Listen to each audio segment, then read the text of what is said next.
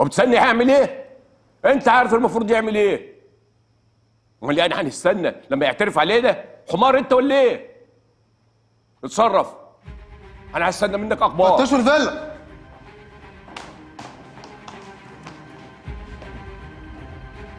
إيه؟ في إيه؟ أنت هارون الذهبي؟ أنا هارون. معايا أمر بالقبض عليك. علي أنا؟ ليه؟ في إيه يا أبوي ما تخافش يا ولدي ما تخافش. روح أشوف عايزين مني إيه. وارجع لك طوالي. تخافش. اتفضلوا.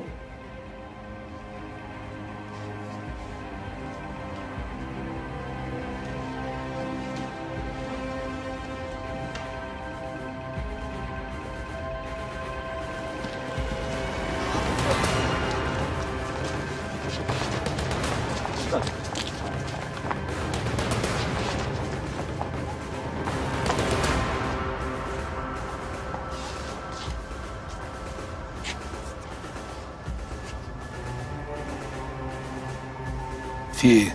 هناك هتعرف كل حاجة يا ناجي يا وحيد. اتفضل.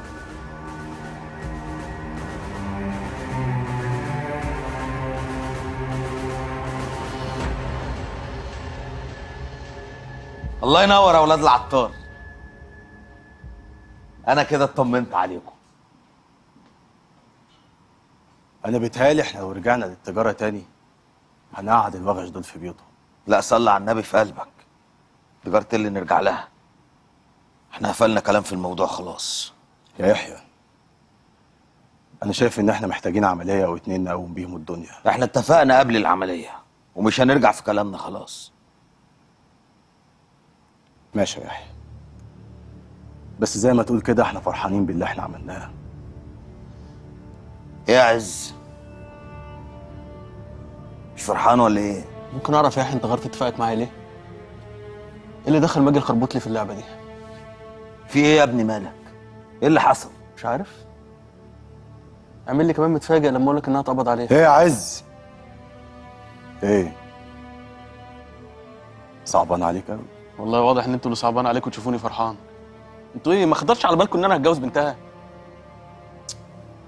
أنا بصراحة ما كنتش ناوي اطاف في الموضوع بس هي اللي طمعت ولعبت لصالح نوح. يبقى تستحمل اللي يجرى لها طب أخوك ملوش خطر عندك يا يحيى؟ الشغل عندي ما فيهوش خواطر. صح. طب بقول لكم إيه بقى؟ الموضوع ده لما اتحلش أنتوا ولا اخواتي ولا عاوز اعرفكم. ودي هنحلها لك إزاي يعني؟ إيه؟ ما قال لك انها لعبه بدلة. اهدى بقى؟ لعبة بديلة ها؟ بقول لك إيه؟ العقدة دي عندكم تحلوها زي ما تحلوها. عاوزين تشيلوها لحد شيلوها له. المهم الست دي تطلع سليمة.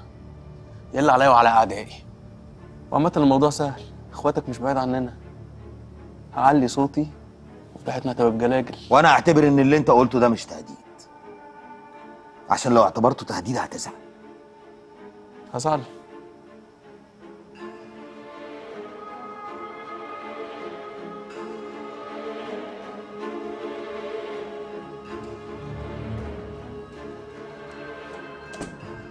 ما كانش ليها لزوم النمرة اللي إحنا عملناها دي. بقول لك إيه؟ كل حاجة وليها حدود. وأنا اللي شايل مسؤولية العيلة دي.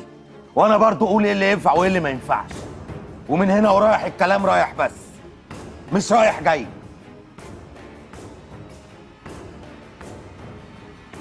ماشي يا يحيى.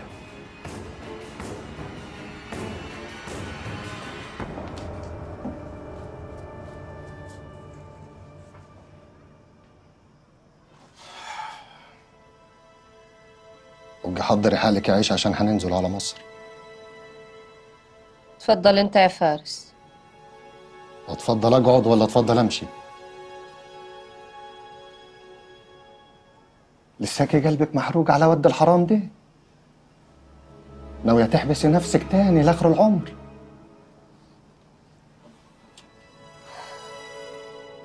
توكل على الله انت يا فارس.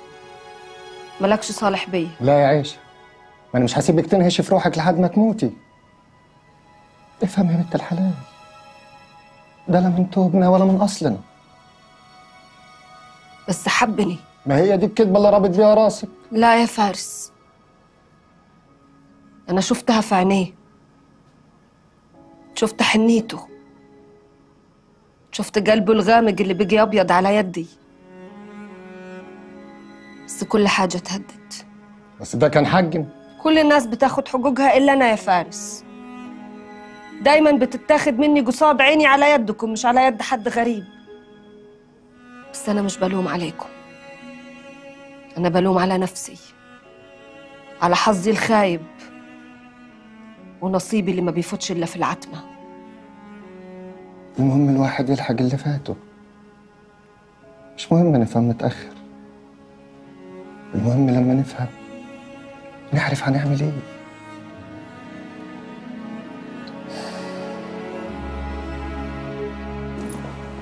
كده يا عز تيجي منك انت وأنا اللي مأمنك عليا وعلى بنتي. أنا والله ما ليا ذنب في اللي حصل. أنا بجد اللي اتخانقت مع يحيى. بس هو عارف إن نوح بيخطط لحاجة وإن انت متآمرة معاه. عشان كده عمل اللي عمله. يعني أنت كنت عارف يا عز إن مامي في خطر وكنت ساكت؟ يا يارا أنا مش مضطر أبرر. أنا ماليش دعوة بالموضوع خالص. يحيى ما بيأمنش لحد. بس إن شاء الله هنطلع من الموضوع ده هنلاقي حل. أحسن لك. يكون كويس إن إحنا نخرج من الموضوع. وإلا والله العظيم أنا هحكي كل اللي أعرفه من أول يحيى لحد دلوقتي. وأنا ذنبي إيه؟ على فكرة هي مش غلطتي. لا غلطتك ولا غلطتي. القضية دي براءتها مؤبد. خلاص. إحنا نقف بقى قدام النيابة وكل واحد يقول اللي عنده. هي يا متر للأسف يا مدام ماجي هتباتي النهارده في الاسم. بكرة الصبح إن شاء الله تتعرضي على النيابة. اطمئني أنا مش ساكت. ما تخافيش.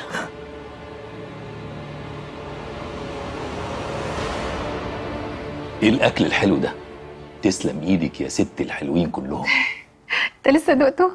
كفاية إن أنت اللي عاملاه بإيدك. أكيد هيبقى حلو. على فكرة كريم هيزعل قوي إن إحنا أكلنا من غيره. ده بيحب الخضار السوتيه قوي. ولا يزعل ولا حاجة ده واد ندل. ليه؟ جيت احضنه وابوسه راح سابني وجري. قال لي مراتك عندك. أنا رايح ألعب. لا والله.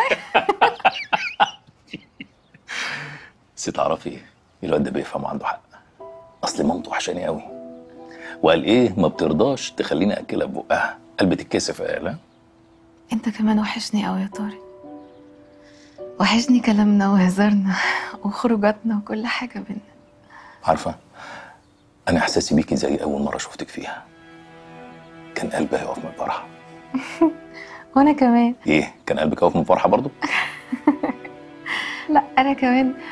فاكراك أول مرة شفتك فيها خالص لما كنت لسه جايلي بالبدله الميري كده وأنت ظابط صغير. لا لا لا لا أعوذ بالله. ده كان شكلي وحش قوي وداني كانت عاملة كده. أعوذ بالله. ياه. ده الحمد لله شكلي اتعدل شوية. لا لا لا لا. كنت زي القمر زي دلوقتي بالظبط. كانت أحلى أيام. آه طبعا. كانت أيام حلوة. كان وقتك كله ليا. كنت كل يوم بتخرجني وعلى طول قاعد معايا. مش زي دلوقتي على طول سايبني. خلاص. خلاص ما تزعليش. أنا مش هسيبك خالص. هفضل جنبك هفضل احبك لاخر يوم في عمري.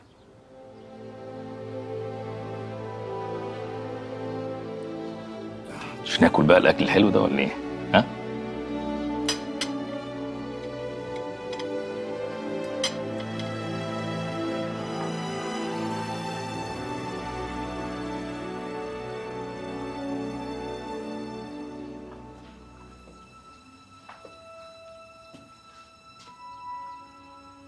ها هو انت إزاي حلوة قوي كده؟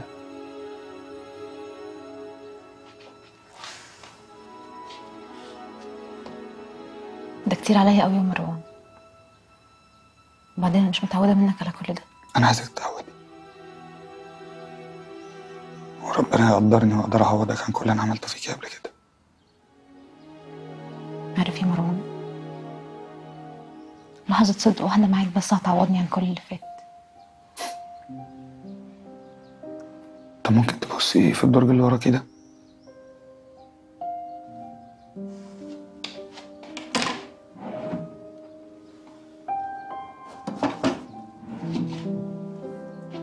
إيه ده؟ دي التلاجة اللي كان نفسك فيها.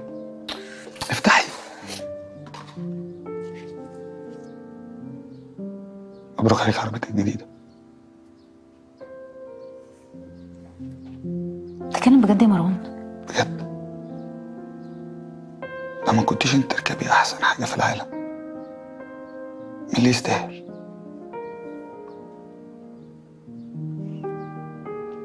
بس أنا مش بعرف أسوق. هعلمك ممكن أكسرها عادي. بهزر بهزر هخلي بالي. تصدقني أنا تلاجة بجد ولا إيه؟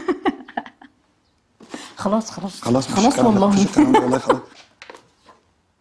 هو بجد محمود ممكن يكون متورط في اللي حصل؟ ده مش ممكن ده أكيد. وبعدين محمود شغال في تجاره السلاح ويعرف كل تجار السلاح.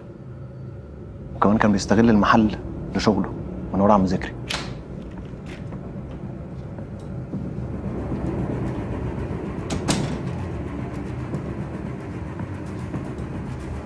الحمد لله على السلامة يا محمود. انت عرفت كل ده إزاي يا يوسف؟ انت ناسي إن أنا كنت ظابط ولا إيه؟ المشكلة بقى إن محمود مسح تسجيلات آخر ثلاث أيام من على كاميرات المراقبة بتاعة المحل معنى كده انه بيأمن نفسه أول بأول إيه ده؟ إيه اللي أنت عامله في نفسك ده؟ أنا طالع اخد حاجة ونازل على طول يا ماما نازل فين؟ تعالى هنا فهمني لا ماما أنت صوتك ما تعمليش شوشرة لا مش